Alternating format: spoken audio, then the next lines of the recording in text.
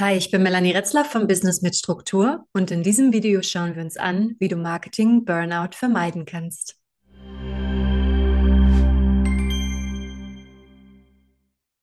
So vermeidest du Marketing Burnout. Es gibt immer mehr Influencer, YouTuber, Instagrammer, die Hunderte, Tausende von Follower haben und dann ankündigen, dass sie fertig sind. Sie werden ihren Kanal nicht mehr bespielen. Das war das letzte Video, das war der letzte Post und sie sagen, es tut mir leid, ich habe kein Interesse mehr daran. Diese Geschichten hören wir immer öfter und äh, viele geben die Rückmeldung, dass sie in eine Art Burnout gerannt sind und deswegen dieses Projekt oder diesen Kanal nicht weiter bes äh, bespielen können. Und dass dir das Ganze nicht passiert, dafür können wir uns jetzt hier gemeinsam diese Präsentation anschauen. Marketing, wenn du als Unternehmer unterwegs bist, ist eine absolute Notwendigkeit. Jedes Unternehmen benötigt Marketing, ja. Diese Aussage gilt besonders, wenn du in einem Käufermarkt agierst. Ein Käufermarkt ist ein Markt, wo das Angebot größer ist als die Nachfrage. Und die meisten Märkte in unserer westlichen Welt sind Käufermärkte, ja. Also der, ähm, der Kunde hat die maximale Auswahl, ja. Also 20 äh, Arten von Zahnpaste, welche nehme ich? Ähm, hier ist es besonders wichtig, wenn du wahnsinnig viele Wettbewerber hast, dass du Marketing machst, dass du deine ähm, Reichweite vergrößern kannst, dass du deine Sichtbarkeit vergrößern kannst. Das Gegenteil von einem Käufermarkt ist ein Verkäufermarkt. Hier ist das Angebot kleiner als die Nachfrage. Diese Unternehmen müssen sich nicht wirklich auf Marketing fokussieren, sondern äh, eher auf die Effizienz der Produktion. Und ähm, ja, die, also ich nehme mal ein Beispiel für einen Verkäufermarkt. Äh, während Covid hatten wir ja so eine, ähm, hatten wir nicht genug äh, Desinfektionsmittel und so weiter. Also das ist natürlich ein Beispiel für einen Verkäufermarkt. Hier ist das Angebot kleiner als ähm, ja, äh, die Nachfrage und diese Unternehmen mussten sich in der Zeit natürlich nicht aufs Marketing spezialisieren. Ähm, ich kenne dein Unternehmen nicht. Ich gehe mal davon aus, dass du aber wie viele von uns in einem Käufermarkt agierst. Das heißt, um das Thema Marketing kommt man nicht drum rum. Marketing kann aber sehr schnell zum Fass ohne Boden werden und Unternehmer in den Burnout bringen. Marketing ist nämlich ein Marathon und kein Sprint. Und wenn du einfach sehr schnell äh, sprintest äh, in den anfänglichen Jahren, dann äh, kannst du das nicht auf Dauer durchhalten. Und dann kommt es nämlich zu dem Punkt, dass du dir wahrscheinlich viele Follower, eine große Reichweite aufgebaut hast und dann ankündigst, tut mir leid, Leute, ich mache das nicht mehr. Damit dir das Ganze nicht passiert, äh, kannst du dich davor schützen, indem du dich ja fragst, wie kann ich Marketing machen, dass ich das dauerhaft durchhalten kann? Ähm, dieses Wie ist eine bessere Option, als überhaupt in Frage zu stellen, ob du noch Marketing machst. Und ähm, das wollen wir uns jetzt mal genauer angucken. Es gibt zwei Arten von Stress. Das ist der Die-Stress und der Eustress. Und Eustress ist positiver Stress, der gibt dir Energie und Die-Stress ist negativer Stress, das nimmt dir Energie. Also ne, wir haben ja im Leben auch schon Sachen gemacht, die haben wahnsinnig viel ähm, Energie gekostet im Sinne von äh, Arbeitsleistung. Ja, du hast Stunden daran gearbeitet, aber irgendwie hat deine Batterien, hat es deine Batterien noch aufgefüllt, weil du so interessiert daran warst. Ja, und du kannst natürlich Die-Stress ähm, erfahren, wenn du unterfordert bist, ja, da hast du wenig Aufmerksamkeit, Apathie, Langeweile, Verwirrung. Ne? Also zum Beispiel ein Arbeitsloser, man denkt ja so, oh, der hat so viel Zeit, wenn ich so viel Zeit hätte wie der, dann würde ich so und so viel machen, also würde ich das und das machen.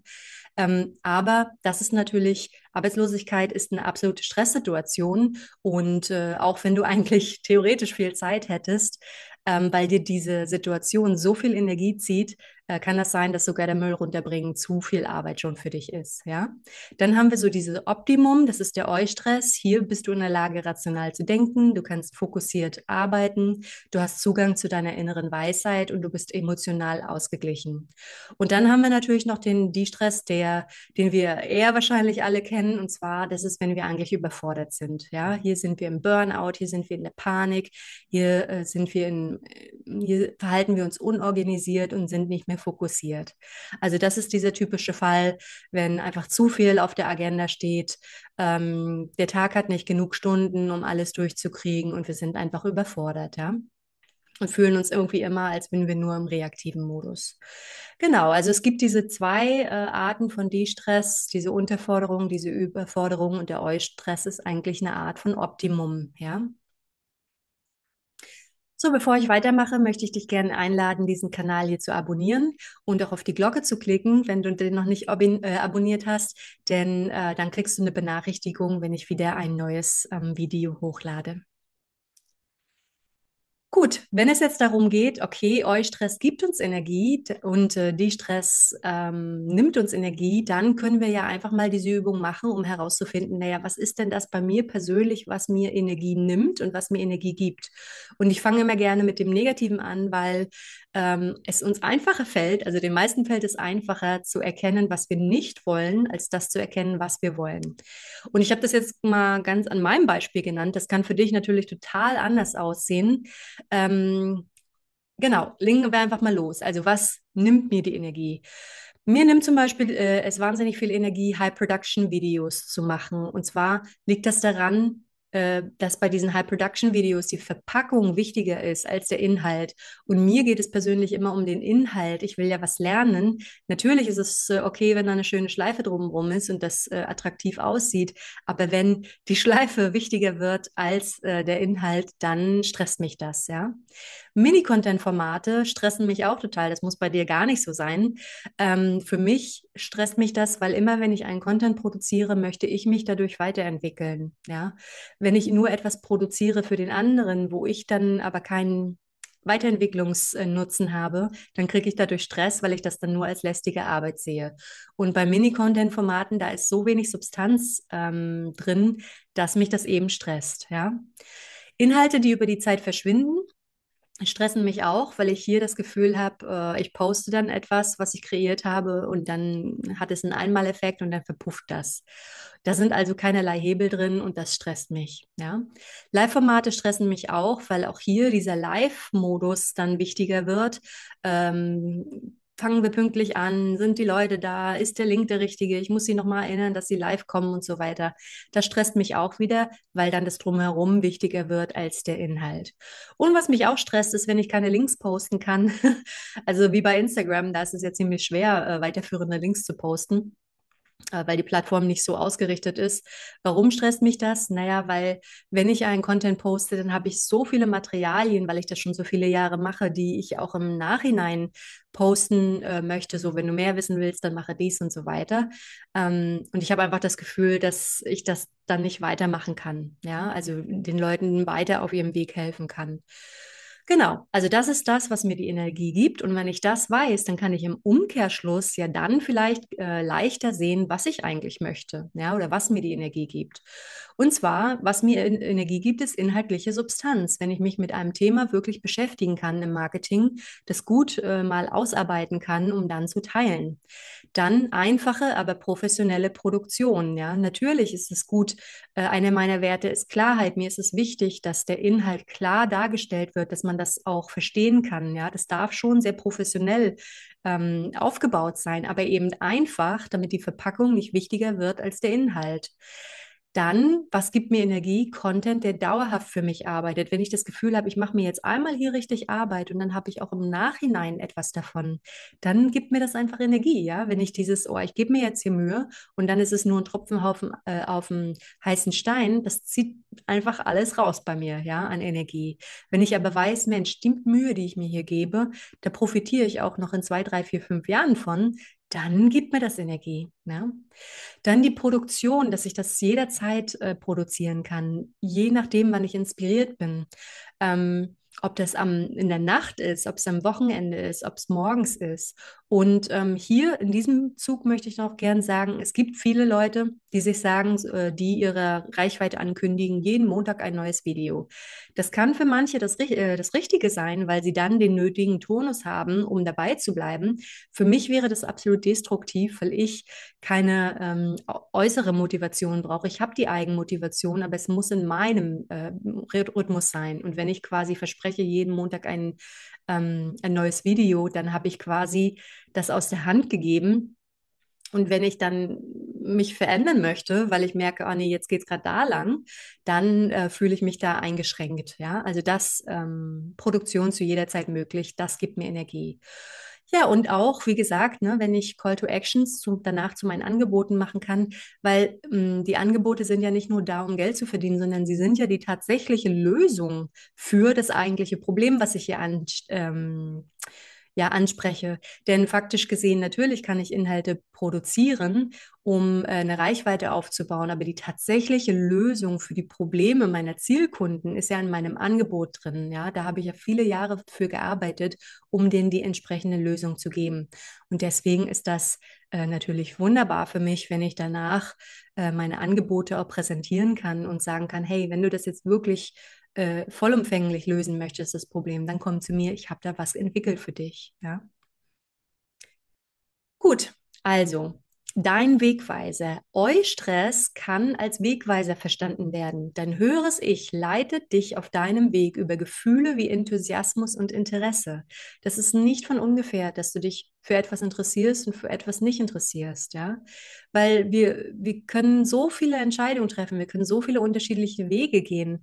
Woher weiß ich denn, was der richtige Weg ist? Indem du dich von deinem höheren Ich leiten lässt über die Gefühle wie Enthusiasmus und Interesse, ja? Deine Produktivität wird größer, die Qualität wird besser, wenn du dich davon leiten lässt. Ich habe das schon öfter mal gesagt, ich hatte vor vielen Jahren meine Marketingagentur und habe Marketingdienstleistungen angeboten und da hatte ich einfach nur die Stress. Das lag nicht daran, dass ich Marketing als Thema nicht mochte. Ich habe mich total gerne weitergebildet, aber ähm, ich hatte keinen Enthusiasmus und kein Interesse, ähm, die Dinge für meine Kunden zu tun. Ja, also ich bin kein geborener Dienstleister. Wenn ich eine E-Mail kriege, wo mein Kunde mir sagt, Melanie, mach mal den Button blau anstatt grün, dann konnte ich schon äh, im Dreieck springen. Ja, also es war ein wahnsinniger Stress. Ich hatte keinen Enthusiasmus und musste dann erkennen, das ist nicht mein Weg. Mit Business mit Struktur ist das Ganze anders, weil letztendlich ist es immer noch ein, ich mache das Thema ist gleich geblieben. Ich mache es nur anders, ja. Und jetzt helfe ich Leuten, sich selbst zu helfen. Und das interessiert mich. Und hier, weil ich hier in meinem Element bin, habe ich natürlich auch die Möglichkeit, mehr Energie reinzugeben, weil ich keine Reibungsverluste habe, ja, bei dieser Tätigkeit. Und das hat mir mein höheres Ich quasi durch diese ähm, ja, Gefühle gezeigt, dass ich kein Dienstleister bin, jedoch aber eine Art Mentor und ich Leuten helfen kann, sich selbst zu helfen. Ja? Achtung aber, du darfst dieses De-Stress nicht so mit Angst verwechseln. Mm, Angst ist eher ein Gefühl, was dir zeigt, dass dort, dass es etwas zu heilen gibt oder vielleicht eine Kompetenz zu erweitern ist. Zum Beispiel, manche haben Angst, sich zu zeigen in einem Video. Ja, das ist ähm, da muss man wirklich ehrlich mit sich sein, weil du könntest jetzt so sagen, ah ja, ich habe bei Melanie geredet, wenn das ein De-Stress ist, dann ist das nicht mein Weg. Das muss nicht notwendigerweise sein. Vielleicht ist hier einfach eine Blockade da, äh, die geheilt werden darf. Und wenn die geheilt werden darf, würde dir das auch Spaß machen. Aber im Moment, weil du Angst davor hast, dich in einem Video zu zeigen oder ja, äh, frei zu sprechen oder sowas, ähm, das muss nicht unbedingt ähm, der Wegweiser sein, dass dir das Leben sagt, mach das nicht. Ja. Also hier kann es wirklich sein, dass hier etwas geheilt werden darf oder einfach eine Kompetenz erweitert werden darf. Ich nehme mal ein Beispiel. Ich hatte früher absolute Angst vorm Schreiben. Absolute Angst vorm Schreiben. Ich hatte kein Talent dafür. In der Schule haben mir sogar äh, meine Lehrer signalisiert, dass ich das nicht gut mache. Und ich habe eine richtige Schreibangst entwickelt. Und ähm, Jetzt hätte ich mir auch sagen können, ja, nee, ähm, das ist wohl das Zeichen, dass ich nicht schreiben soll. Das Leben hat mich aber immer wieder zu dem Thema gebracht, äh, zu dem Thema Marketing, Content Marketing. Ich kam dann nicht mehr drum rum zu schreiben, ja. Und ich habe es dann geschafft, diese Angst zu überwinden. Und jetzt ist das Schreiben einer meiner stärksten Werkzeuge, um mich zu entwickeln und Wert für die Menschheit zu leisten, ja. Und ähm, hier muss man wirklich ehrlich mit sich sein, äh, dass man Angst nicht verwechselt mit mein höheres, ich sag mir, ich soll da nicht hingehen, äh, hinzu, ähm, Mensch, Enthusiasmus, Interesse, das ist mein Weg. Ja?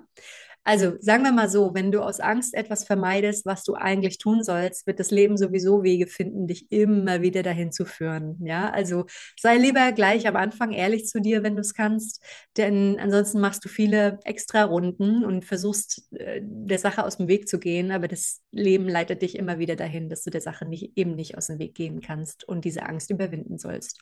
Das nur als kleiner Hinweis, dass man das nicht verwechselt. Es ist schwer, es ist schwer auseinanderzuhalten, aber da diese dieses äh, Reflektieren und diese Ehrlichkeit zu sich selbst ist eigentlich der Schlüssel dazu.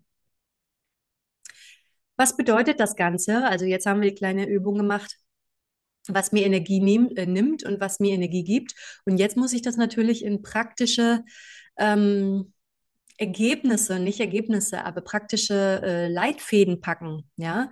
Und zwar, wenn ich jetzt sage, Substanz ist mir wichtig, ich will mit, ähm, ähm, ich will mich mit Inhalten substanzhaltig beschäftigen, dann bedeutet das, das natürlich, dass mein Blog und mein YouTube-Kanal als primäre Marketingkanäle dienen sollen, weil Instagram ist einfach zu dünn, ja. Weiter hatte ich gesagt, naja, wenn die Verpackung wichtiger ist als der Inhalt, dann stresst mich das. Gut, Dafür ist dieses ähm, Format Präsentationsslide statt High Production. Das kann für andere, also ich mag diese High Production Videos auch, ich gucke mir die auch gerne an, aber in meinem spezifischen Fall ist das kontraproduktiv, weil es mir darum geht, die Inhalte stark zu entwickeln, ja. Und Instagram und Co. nur als sporadische Ankündigungsplattform zu nutzen. Also ähm, das heißt ja nicht, dass man die anderen Sachen gar nicht machen darf, aber man kann äh, ihnen ihren Stellenwert geben, ja. Und wenn man das für sich geklärt hat, wo sind meine Prioritäten und ich Instagram zum Beispiel nicht als meine Priorität machen muss, dann entspannt mich das. Das heißt nicht, dass ich jetzt mein Konto löschen muss und da ähm, dem abschwöre, aber einfach nur, dass der Fakt, dass ich die Priorität, äh, Priorität richtig gesetzt habe, hilft mir innerlich in meinem Kopf schon mal zu entspannen. Und das musst du natürlich auch machen, wenn du die Übung gemacht hast, was zieht mir Energie, was gibt mir Energie, dann musst du es übersetzen. Was bedeutet das denn jetzt genau für mein Marketing, ja? Weiterhin solltest du aber unbedingt Marketing lernen. Da, da sollst du auch nicht dran sparen. Ja, ähm, wenn du durch deine Situation, also weil du vielleicht schon merkst, so, boah, ne, uh, Instagram oder weiß ich was, ja, also was auch immer das ist, was dich da stört, solltest du nicht in den Widerstand gehen. Marketing allgemein. Widerstand ist immer schädlich für dich, weil als ähm, wenn du im Widerstand bist, sagst du, ich baue eine Mauer auf und egal was der sagt, ich lasse das gar nicht zu. Ja, ich, ich höre da gar nicht äh, hin, weil äh, ich glaube, was der mir sagen wird, gefällt mir nicht. Widerstand ist eigentlich, wir gehen in den Widerstand, wenn, das, äh, wenn wir vergessen haben, dass wir einen freien Willen haben. Niemand kann uns sagen, was wir machen müssen und was wir nicht machen müssen. Ja? Wir entscheiden selbst, was wir tun. Wir haben freien Willen. Und wenn dir, wenn du absolut klar bist, dass du es machen kannst, wie du möchtest, dann musst du auch nicht in den Widerstand gehen, wenn dir irgendwelche Coaches oder Businessberater oder sonst sagen, und wenn du fünfstellig sein willst, sechsstellig sein willst, dann mach das, das, das, das. Ja, also da kommt ja dieser Widerstand her. Ist das die Schuld des Coaches? Hm, vielleicht, weil er vielleicht einen blöden Stil hat oder sowas, ja, keine Ahnung. Oder ist nicht so dein Ding, wenn er ein bisschen zu auf die Pauke haut oder so. Aber der Widerstand ist immer schädlich für dich. Mach dir klar, dass du freien Willen hast. Du kannst dir die Sachen anhören und du solltest dir die Sachen anhören, weil es viele Sachen gibt, die weißt du noch nicht. Ja? Und wir wissen ja nicht, was wir nicht wissen. Deswegen ist es sinnvoll, lerne weiter über Marketing und treff dann die Entscheidung, wie diese Prinzipien, die du vermittelt bekommst, dann mit deinen Bedürfnissen in Einklang äh, gebracht werden können. Ja, also ich sage dir nicht, du musst jetzt einen YouTube-Kanal äh, machen. Ich sage dir nicht, du musst jetzt Cold Calling machen. Es ist sinnvoll, sich mal das anzuhören, was es alles gibt, was sind die Vorteile, was sind die Nachteile, was sind die Prinzipien dahinter und ob du denn etwas machst und wie du etwas machst. Das ist dann deine Entscheidung. Ja, also Widerstand, wenn du merkst, du bist im Widerstand, dann hast du deinen freien Willen aufgegeben oder glaubst ihn nicht zu haben. Ja. Was sind deine nächsten Schritte? Marketing ist natürlich nur ein äh, System von mehreren in einem funktionierenden Business. Ähm, wenn du einfach mal schauen möchtest, wie du mit deinem Business, wo deine Baustellen sind und wie du weitergehen kannst, dann buchte doch einfach bei mir mal ein kostenloses Erstgespräch. Da können wir einfach mal gucken, ähm, wo du gerade stehst mit deiner Unternehmung und was die nächsten Schritte sein sollen, um deine Ziele zu erreichen. Ich verlinke dir den Buchungslink ähm, mal unter diesem Video und dann können wir einfach mal one-on-one -on -one sprechen und ich darf dich kennenlernen. Vielen Dank, dass du hier warst. Also rassel nicht in den Marketing-Burnout. Äh, das ist zu vermeiden. Wir müssen hier einen Marathon äh, laufen und deswegen sollten wir auch dafür sorgen, äh, dass man das auch wirklich durchhalten kann. Bis zum nächsten Mal. Ich sehe dich in einem anderen Video.